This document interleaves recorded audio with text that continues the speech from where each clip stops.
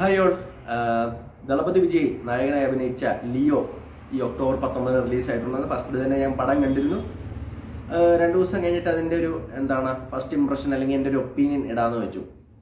അപ്പം ആദ്യം തന്നെ ഇതിലെ കുറച്ച് എലമെന്റ്സ് ഈ ലിയോ എന്ന സിനിമ കേൾക്കും നമുക്ക് ആദ്യം മനസ്സിലേക്ക് വരുന്ന കുറച്ച് എലമെന്റ്സ് ഉണ്ട്. ഇതിലെ കുറച്ച് പോയിന്റ് ഔട്ട് ചെയ്യേണ്ട കാര്യങ്ങൾ. ഒന്ന് നമ്മുടെ ദളപതി വിജയ് നായകനെ അഭിനയിക്കുന്നു. രണ്ട് ലോകേഷ് കനകരാജ് മൂന്ന് ഇതിലെ നമ്മുടെ മ്യൂസിക് ചെയ്ത അനിരുദ്ധ് പിന്നെ ഇതിന്റെ നമ്മുടെ സ്റ്റണ്ട് മാസ്റ്റേഴ്സ് അൻപരിവ്.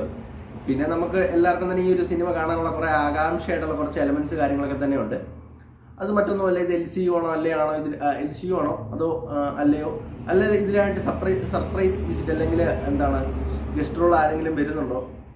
എന്നൊക്കെ ചോദിച്ച് കുറേ അധികം ചോദ്യങ്ങളും അതുപോലെ തന്നെ ഡൗട്ട്സുകളും ഒക്കെ ആയിട്ടാണെങ്കിൽ നമ്മൾ ഇത് കാണാൻ പോകുന്നത്. അപ്പം ഇതിലൊരു ഗസ്റ്റ് റോൾ ഉണ്ട്. പക്ഷെ ആരാന്ന് ഞാൻ പറയത്തില്ല. സിനിമ കണ്ടിട്ടുണ്ടെങ്കിൽ ആ ഗസ്റ്റ് റോൾ ആണെന്ന് നിങ്ങൾക്ക് വേണമെങ്കിൽ ജസ്റ്റ് കമന്റ് ചെയ്യാം പിന്നെ സിനിമയുടെ വിശേഷങ്ങളിൽ കിടക്കാം. ആദ്യം തന്നെ പറയേണ്ടത് നമ്മുടെ നമ്മുടെ ദളപതി വിജയെ കുറിച്ചിട്ടാണ്. നമ്മൾ സ്ഥിരം കാണാറുള്ള വിജയ് സിനിമകളിൽ നിന്നും ഒരു വ്യത്യസ്തമായ രീതിയിലാണ്. അല്ലെങ്കിൽ ഒരു ടിപ്പിക്കൽ വിജയിൽ നിന്നും ഒരു ചേഞ്ച് കൊടുത്തിട്ടാണ് നമ്മുടെ ലോകേഷ് നമ്മുടെ ദളപതി വിജയെ നമുക്ക് മുന്നിലേക്ക് പ്രസന്റ് ചെയ്തിരിക്കുന്നത്. സാധാരണ വിജയ് പടങ്ങളിലെ പോലെ ഒരു കുറച്ച് ഫൈറ്റ് സീൻസ് അല്ലെങ്കിൽ അദ്ദേഹത്തിന് കൊടുക്കുന്ന കുറച്ച് മാസ് ഇൻട്രോ അല്ലെങ്കിൽ കുറെ റൊമാന്റിക് പാട്ടുകൾ ഡാൻസ് അങ്ങനെ ഒരു ജോണറിൽ പോകുന്ന ഒരു പടമല്ല. അല്ലെങ്കിൽ ഒരു രക്ഷകൻ മോഡലിൽ പോകുന്ന ഒരു പടമല്ല ഈ ലിയോ എന്ന് പറയുന്നത്. ഈ ലിയോ എന്ന സിനിമയിൽ അദ്ദേഹം വിജയെ ജസ്റ്റ് ഒരു എന്താണ് ഇൻട്രോ എന്നൊക്കെ പറഞ്ഞാൽ വളരെ സിമ്പിളായിട്ട് നമുക്ക് എന്താണ് ഒരു ജസ്റ്റ് സിമ്പിൾ രീതിയിൽ അദ്ദേഹത്തിന് ഇൻട്രോ ചെയ്തിട്ടുണ്ട്. പിന്നെ നമ്മുടെ സിനിമ തുടങ്ങുന്നതിന് മുമ്പ് തന്നെ നമ്മുടെ ലോകേഷ് പറഞ്ഞിട്ടുണ്ടായിരുന്നു.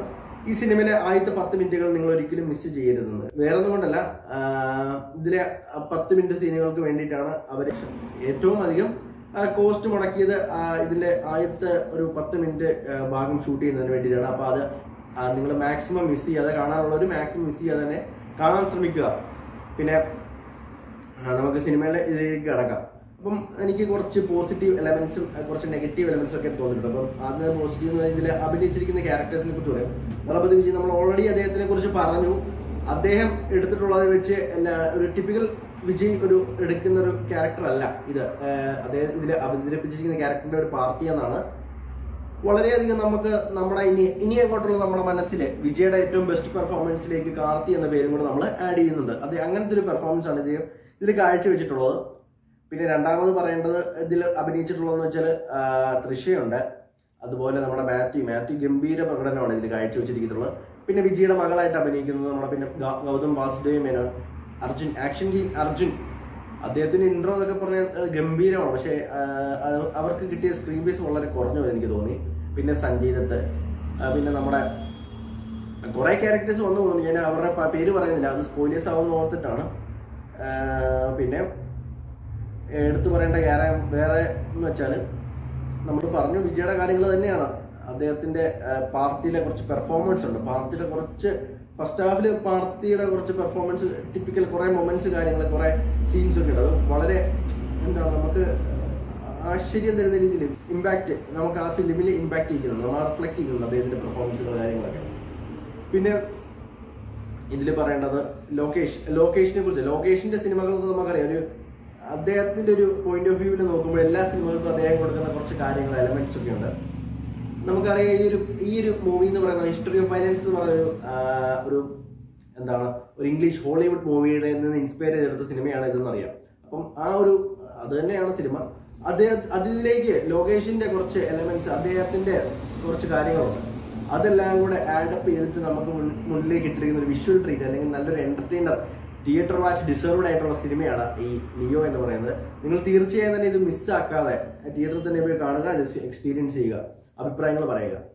പിന്നെ നെക്സ്റ്റ് എന്ന് പറയാം മ്യൂസിക്കൽ ചെയ്ത അനിരുദ്ധ്. അനിരുദ്ധിന്റെ മ്യൂസിക്കൽ നല്ല രീതിയിൽ അതിന്റെ ബീജും ബാക്ക്ഗ്രൗണ്ട് എന്നൊക്കെ പറഞ്ഞാൽ നല്ല പക്ക ആയിട്ട് തന്നെ ഈ സിനിമയെ അതൊരു ബാക്ക് ബോൺ താങ്ങി നിർത്താനായിട്ട് അനിരുദ്ധിന് മ്യൂസിക്കിന് സാധിച്ചിട്ടുണ്ട്. നമുക്കറിയാം അനിരുദ്ധ് എന്ന് വെച്ചാൽ ഒരു മിനിമം ഗ്യാരണ്ടീഡ് ആയിട്ടുള്ള മ്യൂസിക് ഒരു മ്യൂസിക് ഡയറക്ടറാണ് പിന്നെ ഇതിന്റെ സ്റ്റണ്ട് എന്നൊക്കെ പറയാം അൻപരിവ്. അൻപരിവിന്റെ ഫസ്റ്റ് ഹാഫിൽ സ്റ്റണ്ട് എന്നൊക്കെ പറയാം കിഡിൽ കിഡിലായിട്ട് സെറ്റ് ചെയ്ത് സെക്കൻഡ് ഹാഫിൽ പോരായ്മ ഉണ്ടെന്നല്ല കുറച്ച് എന്നെ എയർ ഷോട്ടുകളൊക്കെ നമുക്ക് കുറച്ച് ബുദ്ധിമുട്ട് ബുദ്ധിമുട്ടല്ല എനിക്ക് എന്റെ രീതിയിൽ കുറച്ച് ബുദ്ധിമുട്ടുണ്ടാക്കാൻ എനിക്ക് പിന്നെ ഏഹ്, എടുത്ത് ഞാൻ ഓൾറെഡി പറഞ്ഞു ആയിട്ട് പത്ത് മിനിറ്റ് ആ ഷോട്ട് ഒരിക്കലും ആ ഒരു സീക്വൻസ് ഒരിക്കലും നിങ്ങൾ മിസ് ചെയ്യാതിരിക്കുക. ഓൾറെഡി ഏകദേശം ഒരു പത്ത് മുതൽ പന്ത്രണ്ട് കോടിയോളം ചെലവ് വന്ന് ചെയ്തൊരു ഷോട്ടാണ്. ഇപ്പോൾ നമ്മൾ പണ്ട് സിനിമ ഒക്കെ കാണാൻ പോകുമ്പോൾ നമ്മുടെ ഏകദേശം പതിനഞ്ച് മിനിറ്റ് പത്ത് മിനിറ്റ് താമസിച്ചൊക്കെ ആയിരുന്നു നന്നെന്നൊക്കെ പറഞ്ഞാൽ നായകന് ഇൻട്രോ ഒക്കെയുള്ള ബിൽഡപ്പും കാര്യങ്ങളൊക്കെയാണ്. പക്ഷെ അതുപോലെയല്ല ഇത് ഈ പത്ത് മിനിറ്റ് നിങ്ങൾ മാക്സിമം മിസ്സാക്കാതെ മാക്സിമം അല്ല ഒരിക്കലും മിസ്സാക്കാതെ പോയി കാണുക. അല്ലെങ്കിൽ ഈ സിനിമ കണ്ടിട്ട് യാതൊരു കാര്യമില്ല എന്നൊക്കെ പറയുന്നു. പിന്നെ ഇത് നമുക്ക് നെഗറ്റീവ് നെഗറ്റീവ് എന്നൊക്കെ പറയാൻ പറ്റില്ല ഈ പറഞ്ഞ അർജുന്റെയും സഞ്ജയ് ഒക്കെ സ്പേസ് വളരെ കുറഞ്ഞു പോയി. ബാബുവാനുണ്ട് അദ്ദേഹത്തിന്റെ സ്പേസ് കുറഞ്ഞു പോയെന്ന് തോന്നി. പിന്നെ ഫസ്റ്റ് ഹാഫ് വരെ ആ സിനിമ കൊണ്ടേ നമ്മൾ നടത്തുന്ന രീതി വെച്ച് സ്ലോ ആൻഡ് കൊണ്ടയിൽ ഒരു ഹെവി പഞ്ചോടുകൂടി ഇംപ്ലമെന്റ് സീൻ അവിടെ നടത്തി. അപ്പൊ നമ്മുടെ എക്സ്പെക്ടേഷൻ എന്നൊക്കെ പറഞ്ഞാൽ വാനോളമായിരിക്കും സെക്കൻഡ് ഹാഫിൽ മീൻസ് നെഗറ്റീവ് ആയിട്ടല്ല ഞാൻ പറയുന്നത് സെക്കൻഡ് ഹാഫ് കുറച്ച് കാര്യങ്ങൾ ഭയങ്കര റഷായിട്ട് ഇവർ തീർത്ത പോലെ എനിക്ക് തോന്നി. പിന്നെ എന്താണ്? റഷ്യോട് കൂടി തീർത്തിട്ട് കുറെ ഡൗൺ ഒരു കുറച്ച് ഡൗൺ ആയാലും ആ എനർജി ഇച്ചിരി ലോസ്റ്റ് നമുക്ക് നമുക്ക് നമ്മളെ സംബന്ധിച്ച് ആസ് എ ഓഡിയൻ നമുക്ക് കുറച്ച് ഡൗൺ ആയാലും തോന്നി.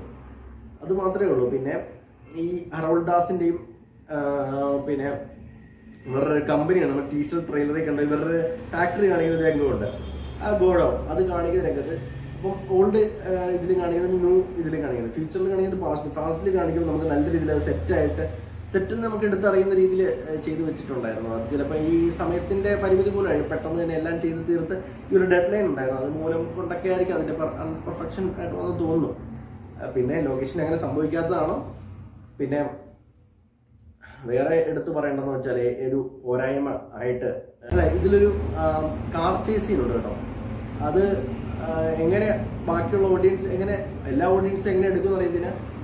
ഒരു എൻ എഫ് എസ് ഒരു റേസിംഗ് ഒക്കെ മോഡൽ തോന്നി. എന്നാലും അത് നല്ലൊരു എക്സ്പീരിയൻസ് ആയിരുന്നു. നല്ല രസം ഉണ്ടായിരുന്നു കണ്ടുകൊണ്ടിരിക്കാനായിട്ട് ഇതിൽ കൂടുതൽ ആ, വേറെ പറയാനില്ല. അപ്പം നമ്മൾ ഒരു വിജയ് ആരാധകർ എന്നൊക്കെ പറഞ്ഞാൽ ഇതൊരു ഹൺഡ്രഡ് പെർസെന്റ് ട്രീറ്റ് ആണ്. ഈ ഒരു പടം ഹൺഡ്രഡ് പെർസെന്റ് ട്രീറ്റ് ആണ്. എൻജോയ് ചെയ്യാനുള്ള എല്ലാ എലമെന്റ്സ് ഈ സിനിമയിൽ ലൊക്കേഷൻ ഉൾപ്പെടുത്തിയിട്ടുണ്ട്. പക്ഷേ ഒരു ടിപ്പിക്കൽ വിജയ് പടം അല്ലതാണ് ഇത് ഹൺഡ്രഡ് പെർസെന്റ് ഒരു ലൊക്കേഷന്റെ ടെറിട്ടറിയാണ് അപ്പം ഇത് ഈ സിനിമ നിങ്ങൾ കണ്ടിഷ്ടപ്പെട്ടിട്ടുണ്ടോ? എങ്കിൽ ഈ സിനിമയെ കുറിച്ച് നിങ്ങളുടെ അഭിപ്രായങ്ങൾ താഴെ കമന്റ് ചെയ്യുക. അതുപോലെ നമ്മുടെ വീഡിയോ ഒന്ന് ലൈക്ക് ചെയ്യുക ഇഷ്ടപ്പെട്ടു കഴിഞ്ഞാൽ. അതുപോലെ നമ്മുടെ ചാനൽ ഒന്ന് സബ്സ്ക്രൈബ് ചെയ്യാൻ മറക്കാതിരിക്കുക ആദ്യമായിട്ടാണ് കാണുന്നെങ്കിൽ നിങ്ങളുടെ കൂട്ടുകാരിലേക്ക് ഷെയർ ചെയ്യുക. പിന്നെ ഇതൊരു എൽ സി ആണോ അല്ലേ എന്നുള്ള ഒരു ഡൗട്ടും കാര്യങ്ങളൊക്കെ ഉണ്ട്. ഈ സിനിമ തീർച്ചയായും